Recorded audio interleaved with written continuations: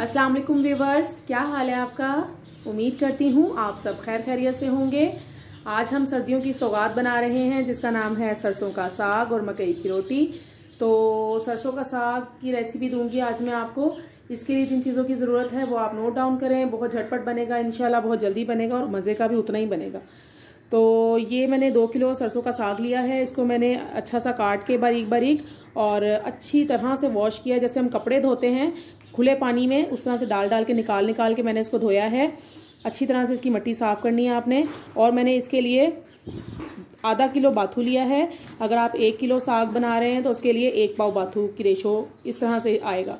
यानी कि एक किलो अगर साग है तो उसके लिए एक पाव हम बाथू इस्तेमाल करेंगे। और आटा हमारा हसब ज़रूरत जाएगा। ये भुना हुआ आटा है, तवे पे मैंने इसको भून लिया है। ये बाद में इस्तेमाल होगा।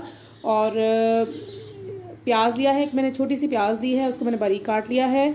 और पच्चीस से तीस हरी मिर्चें हैं, क्योंकि इसमें सिर्फ़ हरी मिर्चें जाएँगी और ये करारा बनेगा अच्छा सा बनेगा। तो इसमें हरी मिर्चें गई हैं, पच्चीस से तीस ले लीजिएगा आप, या अपनी मर्ज़ी के हिसाब से ले लीजिएगा और नमक भी हसब ज़रूरत लेंगे। तो इसमें मैं पालक वगैरह इस्तेमाल नहीं करूँगी, क्योंकि पालक इस्तेमाल करने से साग का अपना जो जायका है, वो कम हो जाता है। इस तरह से बना के देखिएगा, आपको बहुत पसंद आएगा। तो आइए पकाना स्टार्ट करते हैं। जी व्यूवर्स अब मैंने आग जला ली है और मैंने इसमें सारा बाथू और आधा साग डाल दिया है प्रेशर कुकर में। और इसमें मैं आप दो गिलास पानी शामिल करूँगी।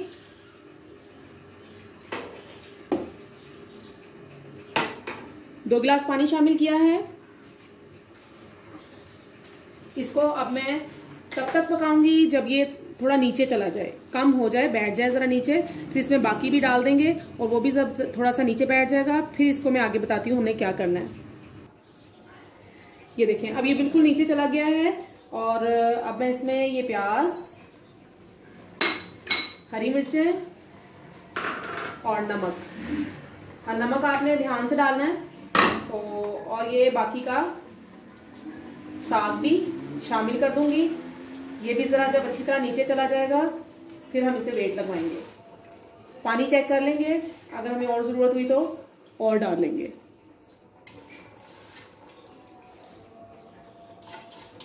ये बहुत ज़्यादा लग रहा है, पर ये थोड़ा सा हो जाएगा पकने के बाद। इसका फैलाव बहुत ज़्यादा होता है। लेकिन पक के ये चीज़ थोड़ी सी हो जाती है। देखिए, अब मैंने ये शामिल कर दिया है।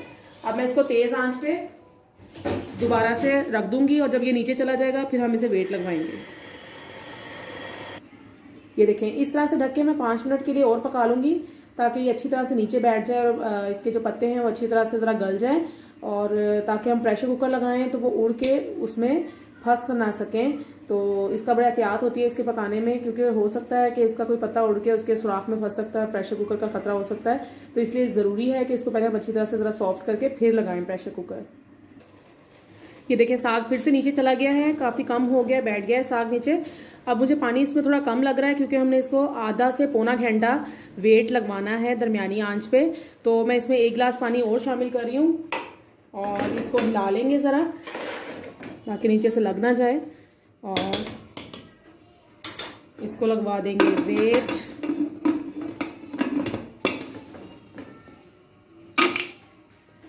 वेट लगवाएँगे तीस से पैंतालीस मिनट के लिए। प्रेशर कुकर को मैंने एक घंटे के बाद खोला है। इसमें एक गिलास पानी और गया है। टोटल चार गिलास पानी मैंने शामिल किया है। और अब देखें, ये बिल्कुल गल चुका है। इसकी शक्ल ये आ गई है। अभी बिल्कुल गल चुका है। अब इसको हम चाहे तो जग में डाल के पीस लेंगे या इसको हाथ से घोटा लगा लेंगे। या फिर इसको इस तरह के हैंडी ब्लेंडर से मैं ब्लेंड कर लूँगी। तो इसको मैं ब्लेंड करके आपको दिखाती हूँ कि इसको मुझे कितना ब्लेंड करना है। ये देखें, इसको मैंने पीस लिया है। ये आप देख सकते हैं, ये बिल्कुल बारीक नहीं है और ना ही ये बहुत ज़्यादा मोटा है। तो अब इसको मैंने पीस लिया है। आप चाहें, आपकी आसानी है। जिस जो आप चीज़, जो चीज़ आपके पास अवेलेबल है, आप उसके साथ इसको कर सकते हैं। हाथ से भी घोट सकते हैं, लेकिन मेहनत बहुत है। ज़रा टाइम लग जाता है। तो अब मैं इसमें ये भुना हुआ थोड़ा सा पानी शामिल करके आटा मैंने शामिल किया है। इसको मैं थोड़ा सा मिक्स कर लूँगी और आपको दिखाऊँगी हमने कितना आटा डालना है। इसको हमने तेज़ आँच पर फटाफट हिलाते जाना है और डालते जाना है।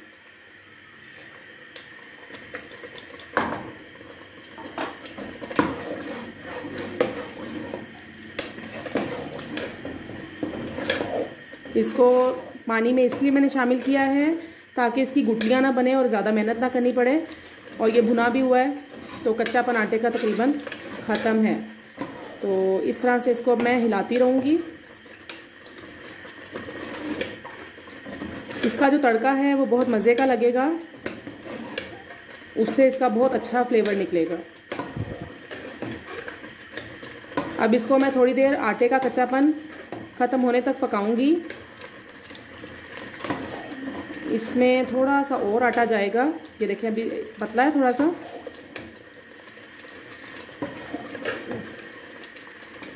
इसमें आ जाएगा। तकरीबन ये एक कप मैंने आटा लिया था।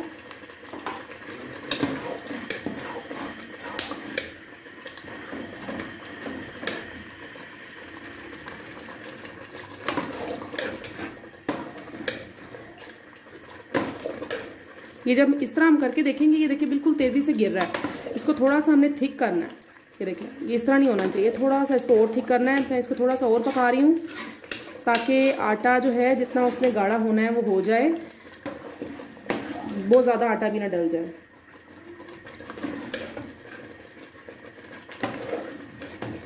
बहुत ज़्यादा आटा डलेगा तो बहुत जमा जमा भी अच्छा नहीं लगेगा। और कम हो तो वो भी नहीं अच्छा लगता।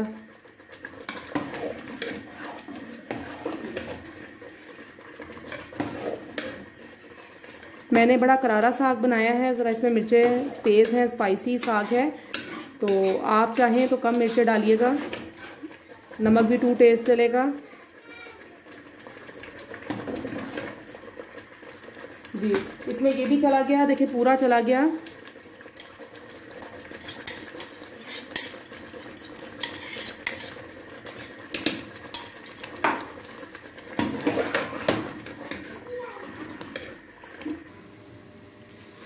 देखें, इसको मैंने काफ़ी पकाया है, इस, ये बहुत उछला कूदा है, इसने बहुत सारा कुछ गंदा किया है। जब तक ये अच्छी तरह इसका पानी खुश्क नहीं हो जाता, आपको भी इस मसले का सामना करना ही पड़ेगा। तो अब ये काफ़ी हद तक सही हो गया, अब ये बिल्कुल नहीं उछल रहा, इसमें से बिल्कुल छीटे नहीं निकल रहे बाहर। तो ये इसकी निशानी है कि हमारा जो साग है, वो फाइनल लुक में आ गया है। ये देख सकते हैं आप, ये इस तरह का होना चाहिए, ये देखें। ठीक है? अब ये इस तरह हो गया अब इसका मैं तड़का रेडी करूँगी। इसका अब हम तड़का रेडी कर लेते हैं। ये बिल्कुल ठीक हो गया इसको इतना ही होना चाहिए। बहुत जमा हुआ भी ना हो और बहुत ज़्यादा पतला भी ना हो। अब इसका तड़का रेडी कर लेते हैं।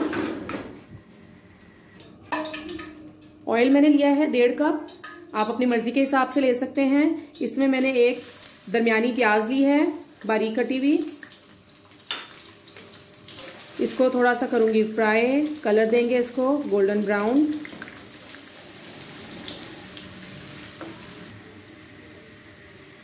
व्यूवर्स अगर आपको मेरी वीडियोस पसंद आती हैं तो प्लीज़ मेरी वीडियो को लाइक कीजिएगा शेयर कीजिएगा, और मुझे कमेंट्स में बताइएगा आपको मेरी रेसिपीज़ कैसी लगती हैं। और मेरे चैनल को आपने सब्सक्राइब करना है, और बेल का आइकन आपने ज़रूर दबाना है। ताकि मेरे आने वाली हर वीडियो आप तक सबसे पहले पहुँच सके। तो ये देखें, ये गोल्डन ब्राउन होने वाले हैं। तो ये तड़का बहुत मज़े का बनता है, साग पे प्लीज़ यही तड़का लगाइएगा, आपको बहुत मज़ा आएगा। तो ये देखें, ये गोल्डन ब्राउन हो गए। अब मैं इसमें ये वन टेबल स्पून और ये थोड़ी सी ज़्यादा है। तकरीबन डेढ़ टेबल स्पून के बराबर ये मेरे पास हरी मिर्चें हैं। और ये टू टेबल स्पून है मेरे पास अदरक कुटी हुई। कुटी हुई हरी मिर्चें हैं और कुटी हुई अदरक है। दो टेबल स्पून भर के अदरक है और डेढ़ टेबल स्पून है हरी मिर्च का। हरी मिर्च आप अपनी मर्ज़ी के हिसाब से लेंगे, ठीक है? तो इसको हमने बहुत ज़्यादा फ्राई नहीं करना। बस इसको थोड़ा सा फ्राई करना है कि अदरक और हरी मिर्च का कच्चापन ज़रा दूर हो जाए, बहुत ज़्यादा नहीं पकाना है इसको। ज़रा खुशबू आ जाए। अभी मैं इसके साथ रोटियाँ नहीं बना रही हूँ मकई की। अगर वो मैं बनाती तो बहुत लंबी वीडियो हो जाती और आपको सब चीज़ें बताना भी ज़रूरी होता है। उसकी वीडियो मैं अलहदा से बना के डाल दूँगी। अगर आपको मकई की रोटियों की रेसिपी चाहिए हुई, बहुत अच्छी और परफेक्ट बनती हैं। तो वो भी मैं आपको दूँगी। तो आप देख सकते हैं मेरी मकई की रोटी की वीडियो। तो उसका मैं लिंक डाल दूँगी डिस्क्रिप्शन बॉक्स में। तो आप ले लीजिएगा।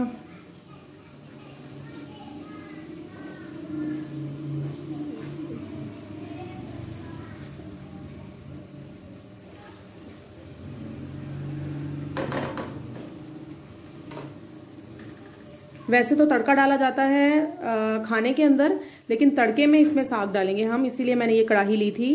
तो देख लीजिएगा, अगर आपने इकट्ठा तड़का लगाना है पूरा तो आप इकट्ठा लगा दीजिएगा, वरना जितना आपको ज़रूरत हो, आप उतने साग को तड़का लगा सकते हैं।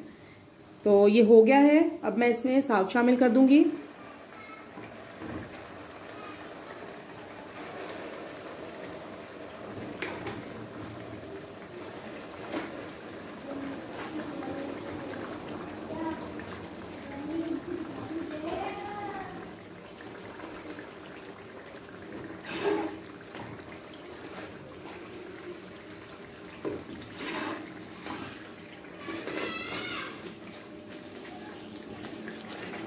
ये देखिए, मैंने इकट्ठा तड़का लगाया है पूरे साग को।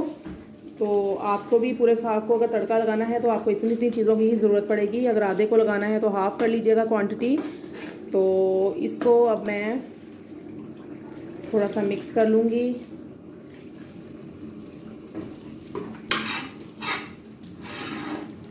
बाकी का सारा साग भी डाल देते हैं। सारा साग मैंने शामिल कर दिया है, साग को फिर गुस्सा आ गया है। साग तड़के के बाद फिर उछलना कूदना शुरू हो गया है। तो इसको थोड़ी सी देर और पकाऊँगी ताकि तड़के का फ्लेवर इसमें अच्छी तरह से रच बच जाए। तो ये देखिए चूल्हा ऑन है और इसको मैं कवर कर दूँगी थोड़ी देर के लिए। ये देखें हो गया है साग रेडी इसको मैंने तकरीबन 10 मिनट के लिए हल्की आँच पर रखा है। और दम पे, और अब ये रेडी है खाने के लिए। बहुत मज़े का बना है। और, अब मुझे इजाज़त दीजिए, दुआओं में याद रखिएगा। अल्लाह हाफिज़।